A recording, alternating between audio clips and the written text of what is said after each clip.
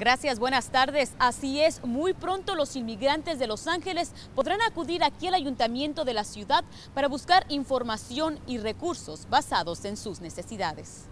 El alcalde de la ciudad, Eric Garcetti, prometió como parte de su campaña reabrir la oficina de asuntos migratorios y lo cumplió. Hoy nombró a Linda López, una ex rectora asociada de la Universidad del Sur de California, como la directora de la oficina. La primera cosa como directora que yo voy a hacer es eh, coordinar diferentes eh, funciones con los diferentes líderes de diferentes organizaciones, eh, fundaciones, el, el sector laboral. Organizaciones como Chirla apoyan las funciones de la nueva oficina y esperan que al reconocer las necesidades de los inmigrantes localmente puedan exigir leyes estatales y federales que los defiendan. Somos la ciudad más grande con la población más grande de inmigrantes, entonces deberás ver cómo el gobierno está velando por los derechos de, de todos sus ciudadanos. Esta oficina reabre sus puertas a casi un mes de que termine el año fiscal y se vence el tiempo para que la Cámara de Representantes decida sobre un proyecto de reforma migratoria. Ahora más que nunca no se debe bajar la guardia, asegura esta activista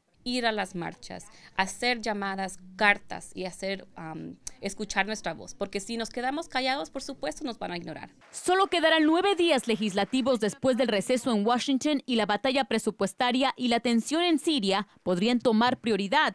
Linda López dice que por ahora su oficina se estará preparando para el resultado final cuáles son los servicios, cuáles son las, pólizas, cuáles son los programas que necesitamos para integrar a nuestros inmigrantes en la ciudad de Los Ángeles. Aunque aún no se sabe de qué manera estará operando la oficina y recibiendo caso por caso, sí se sabe que va a estar aquí localizada en el ayuntamiento de la ciudad, entre la calle Spring y Temple. Esto es todo mi informe. Yo soy Hilda Gutiérrez desde la ciudad de Los Ángeles. Ahora regreso con ustedes al estudio.